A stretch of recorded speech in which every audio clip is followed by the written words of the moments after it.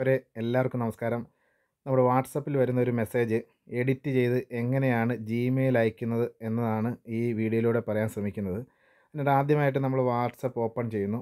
ഏത് വാട്സപ്പിൽ നിന്നാണ് നമുക്ക് മെസ്സേജ് വന്നിട്ടുള്ളതെന്നുള്ളത് നമ്മൾ വാട്സപ്പ് ഓപ്പൺ ചെയ്ത് കഴിഞ്ഞാൽ ആ മെസ്സേജ് നമുക്ക് കോപ്പി ചെയ്യണം. അതിന് കോപ്പി ചെയ്യാൻ വേണ്ടി നമ്മൾ വന്നിരിക്കുന്ന മെസ്സേജ് ജസ്റ്റ് നമ്മളത് ക്ലിക്ക് ചെയ്ത് കഴിയുമ്പോഴത്തേക്ക് ഒരു ബ്ലൂ ഷെയ്ഡ് വരും. ബ്ലൂ ഷെയ്ഡ് വന്നു കഴിഞ്ഞാൽ വാട്സപ്പിന്റെ ഏറ്റവും മുകളിൽ രണ്ട് ചതുരത്തിലുള്ള രണ്ട് ബോക്സ് പോലെ നമുക്ക് കാണാം. അതായത് ആ ഫോർവേഡിങ് മെസ്സേജിന്റെ തൊട്ടിപ്പുറത്ത്. അത് ജസ്റ്റ് നമ്മൾ ക്ലിക്ക് ചെയ്ത് കഴിയുമ്പോഴത്തേക്ക് നമുക്കിവിടെ താഴെ കാണിക്കും മെസ്സേജ് കോപ്പി ചെയ്തെന്ന് കാണിക്കും. അതിനുശേഷം നമ്മൾ നമ്മുടെ വാട്സപ്പിൽ നിന്നും പുറത്ത് പോയതിന് ശേഷം നമ്മുടെ മെയിലിലേക്ക് വരുന്നു. ഇതിൽ നമ്മൾ ഫോണിൽ കാണുന്ന ആ ജിമെയിൽ അയക്കാൻ വേണ്ടി ജിമെയിലിന്റെ എംബളമുള്ള ആ ഒരു കർസറി നമ്മൾ ക്ലിക്ക് ചെയ്ത് കഴിഞ്ഞാൽ ഇവിടെ ഇപ്പോൾ ഗൂഗിളിന്റെ എല്ലാം ഒരുമിച്ച് കിടക്കുന്നതുകൊണ്ടാണ് ഇത് ഒരുമിച്ച് കാണിക്കുന്നത്. ഇതിനകത്ത് ആ എം എന്ന് പറയുന്ന ജിമെയിലിന്റെ ആ എംബ്ലത്തിൽ നമ്മൾ ജസ്റ്റ് ക്ലിക്ക് ചെയ്യുന്നു. ക്ലിക്ക് ചെയ്ത് കഴിഞ്ഞാൽ ഇതേപോലെ നമ്മൾ ഫോണിൽ ഏത് മെയിലാണോ ഓപ്പൺ ആയിട്ട് കിടക്കുന്നത് ആ മെയിൽ ഇതിൽ കാണിക്കും. ഇനി ഇതിനകത്ത് ചിലരുടെ ഫോണിനകത്ത് ഒരുപാട് മെയിൽ ഐ ഡീസ് ഉണ്ടായിരിക്കും. ആ മെയിൽ ഐ ഡീസിൽ നിന്ന് ഇനി ഏത് മെയിൽ ഐ ഡിയിൽ നിന്നാണ് നമ്മൾ അയക്കേണ്ടതെന്ന് വെച്ചാൽ ആ മെയിൽ ഐ ഡി നമുക്ക് സെലക്ട് ചെയ്യാൻ പറ്റും. ഇതിപ്പോൾ ഞാൻ എന്റെ ഫോണിനകത്ത് ഓപ്പൺ ചെയ്ത് കിടക്കുന്ന മെയിലിൽ നിന്ന് തന്നെയാണ് ഞാൻ അയക്കുന്നത്. അപ്പോൾ അതുകൊണ്ട് ആ ജസ്റ്റ് ആ മെയിൽ തന്നെ എടുക്കുന്നു. എടുത്തതിന് ശേഷം നമ്മുടെ ഇമെയിലിൽ തന്നെ താഴെ കമ്പോസ് ഒരു പേനായുടെ എംബ്ലമുള്ള കമ്പോസ് എന്ന് പറയുന്ന ഒരു ഒരു വിൻഡോ നമുക്ക് കാണാം. അത് ജസ്റ്റ് നമ്മൾ ക്ലിക്ക് ചെയ്യുന്നു. അവിടെ ക്ലിക്ക് ചെയ്ത് കഴിയുമ്പോഴത്തേക്ക് ഇങ്ങനെ ഒരു ഇന്റർഫേസാണ് നമുക്ക് കിട്ടുന്നത്. ഇതിനകത്ത് നമ്മൾ ഫ്രം ഉണ്ട് ടു ഉണ്ട് സബ്ജക്റ്റ് ഉണ്ട് കമ്പോസ് മെയിലുണ്ട് അപ്പം നമ്മൾ ആ കോപ്പി ചെയ്ത ആ മാറ്റർ നമ്മളിവിടെ പേസ്റ്റ് ചെയ്യണം. ഈ കമ്പോസ് മെയിലെടുത്ത് ജസ്റ്റ് നമ്മൾ ക്ലിക്ക് ചെയ്ത് കഴിയുമ്പോഴത്തേക്ക് ഫോർമാറ്റ് പേസ്റ്റ് എന്ന് കാണിക്കും. അത് നമ്മൾ ജസ്റ്റ് പേസ്റ്റ് എന്ന് ക്ലിക്ക് ചെയ്ത് കഴിഞ്ഞാൽ തന്നെ അവിടെ നമ്മൾ കോപ്പി ചെയ്ത മാറ്റർ ഇവിടെ വന്നിട്ടുണ്ടാകും ഇനി നമുക്ക് അതിനകത്ത് എഡിറ്റ് ചെയ്യാനുള്ളതിന് നമ്മളിപ്പോൾ ഡിയർ സാർ അവിടെ ഞാൻ അയാം ജി അരുണ ഞാൻ എഡിറ്റ് ചെയ്യുന്നു. നാം ടൈപ്പ് ചെയ്യുന്നു. ഇനി L I C code number L I C code number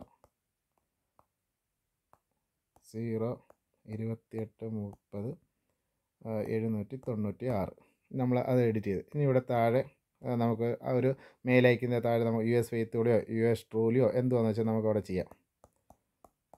fully faithfully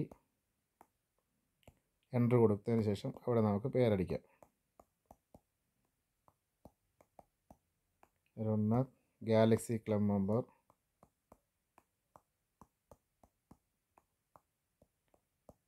galaxy club member Kayamkulam branch Kayamkulam branch branch Kottayam division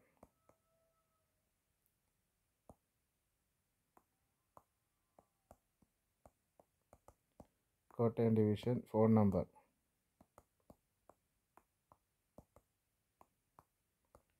nine four nine five six eight six seven two six. ഇത് നമ്മൾ ചെയ്യുന്നു ഇത്രയും നമ്മൾ ചെയ്ത് കഴിഞ്ഞാൽ നമുക്ക് ആ മാറ്ററിനകത്ത് നമ്മൾ എഡിറ്റ് ചെയ്യാനുള്ളത് എഡിറ്റ് ചെയ്തു. അതിന് ശേഷം നമ്മൾ മെയിൽ ഐ ഡി വേണം. ആ മെയിൽ ഐ ഡി നമുക്ക് ടൈപ്പ് ചെയ്തത് ഉണ്ടെങ്കിലോ അതല്ലെങ്കിൽ നമുക്കറിയാവുന്നത് നമുക്ക് നോക്കി എഴുതാൻ പറ്റും ടൈപ്പ് ചെയ്യാൻ പറ്റുന്നുണ്ടെങ്കിൽ ഓക്കെ. ഇനി അതല്ലെങ്കിൽ വാട്സപ്പിൽ തന്നെയാണ് നമുക്ക് മെയിൽ ഐ ഡി ഉള്ളതെന്നുണ്ടെങ്കിൽ നമ്മൾ ജസ്റ്റ് ഇതിൽ നിന്ന് പുറത്തോട്ട് പോകുന്നു. നമ്മൾ പുറത്തോട്ട് പോകുമ്പോൾ ഈ നമ്മൾ ചെയ്തിട്ടേക്കുന്ന മെയിലിൽ അതങ്ങ് ഓൾറെഡി ഡ്രാഫ്റ്റിനകത്ത് തന്നെ ഉണ്ടാവും. മെസ്സേജ് ഡ്രാഫ്റ്റായിട്ട് തന്നെ കിടക്കും. നമ്മളെങ്ങും പോകത്തില്ല. അവിടെ നമ്മൾ ഈ മെയിലിന് പുറത്ത് വരുന്നു. പുറത്ത് വന്നതിന് ശേഷം വാട്സപ്പിൽ നിന്ന് നമുക്ക് അയക്കേണ്ട മെയിൽ ഐ ഡികൾ നമുക്ക് സെലക്ട് ചെയ്യാം.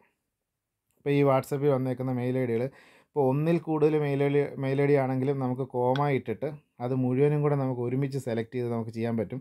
സെപ്പറേറ്റ് സെപ്പറേറ്റ് മെയിൽ അയക്കേണ്ട ആവശ്യമില്ല. അപ്പോൾ അതിന് നമ്മൾ ഇത് ഇതേപോലെ സെലക്ട് ചെയ്ത് കഴിഞ്ഞ് കഴിഞ്ഞാൽ ഇങ്ങനെ ഒരു ബ്ലൂ ഷെയ്ഡിൽ തന്നെ അത് സെലക്ട് ആവും.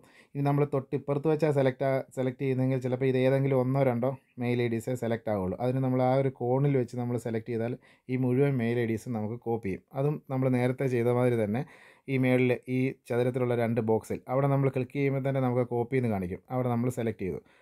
അപ്പോൾ നമ്മൾ ആ നേരത്തെ നമ്മൾ മാറ്റർ ആയിരുന്നു സെലക്ട് ചെയ്ത്. അത് കഴിഞ്ഞിപ്പോൾ മെയിൽ ഐ ഡി സെലക്ട് ചെയ്തപ്പോഴത്തേക്ക് സെലക്ട് ചെയ്ത് കോപ്പി ചെയ്തപ്പോഴത്തേക്ക് മറ്റേ മാറ്റർ പോയിട്ട് അതിന്റെ സ്ഥാനത്ത് മെയിൽ ഐ ഡി ആണ് ഇപ്പോൾ കോപ്പി ആയിട്ടുള്ളത്. ഇനി നമ്മൾ തിരിച്ച് വീണ്ടും നമ്മൾ മെയിലിലേക്ക് പോകുന്നു.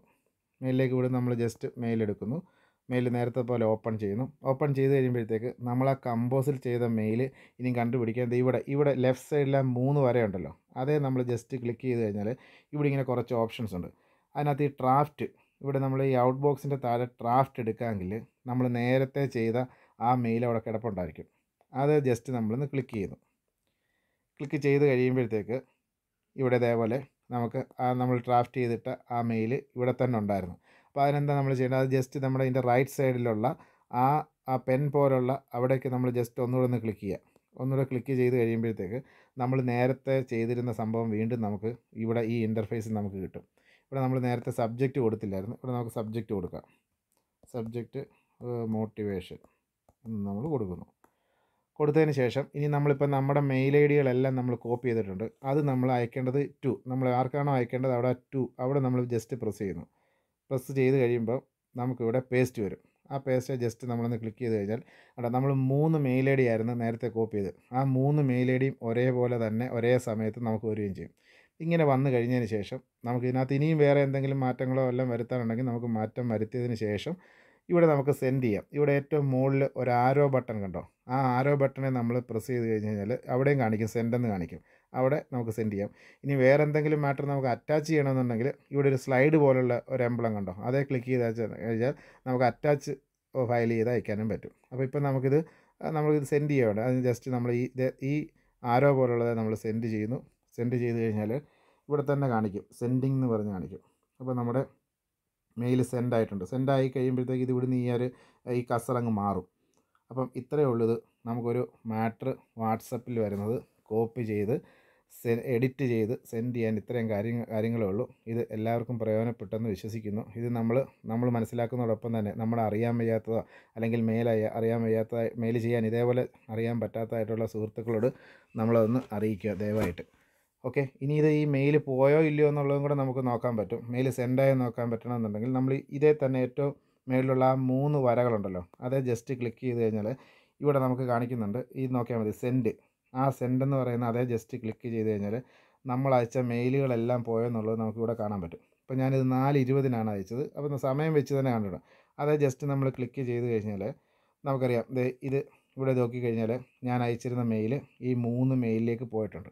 അപ്പം ഇത്രയേ ഉള്ളൂ ഇതിന്റെ കാര്യമെന്ന് പറയുന്നത്. അപ്പം എല്ലാവർക്കും എല്ലാവിധ നന്മകളും നേർന്നുകൊണ്ട് തന്നെ ഇത് മനസ്സിലാക്കി കഴിഞ്ഞെന്ന് വിശ്വസിക്കുന്നു. ഓക്കെ.